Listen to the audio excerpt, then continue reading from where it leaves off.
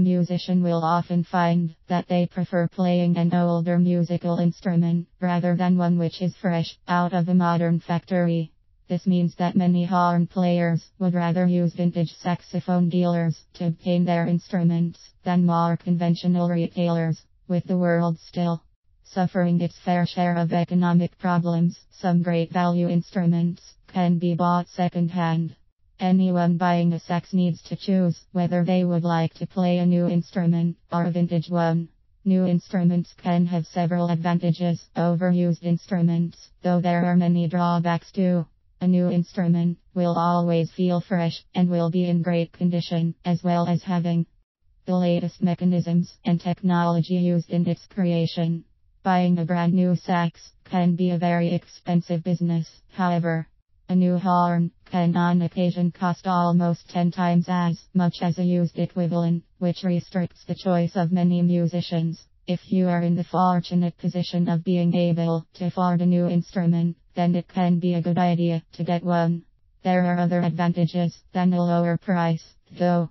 If you decide to look for vintage or used instruments instead, many older instruments are actually manufactured to higher standards of craftsmanship than their newer equivalents. This is mainly due to techniques which have developed due to mass manufacturing of musical instruments. In days gone by, many instruments had greater personal care lavished on them by their makers, something which mass production makes impossible.